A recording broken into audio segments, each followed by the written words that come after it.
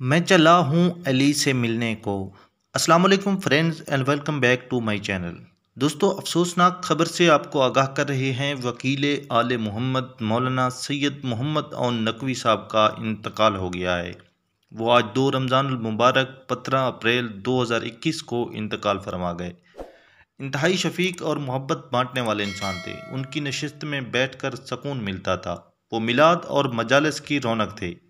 पाकिस्तान में रमज़ान नशरियात, ख़ास तौर पर आलम ऑनलाइन में, उनकी खिदमत बहुत ज़्यादा हैं। मौलाना सैयद मोहम्मद और नकवी की बेपना खिदमत को हमेशा याद रखा जाएगा।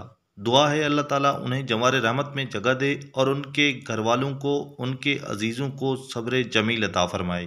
दोस्तों, ये थी अब तक की ताज़ा तरीन मालूम मज़ीद अपडेट के लिए हमारे चैनल को सब्सक्राइब और वीडियो को लाइक ज़रूर करें। Thanks for watching. अल्लाह हाफिज़।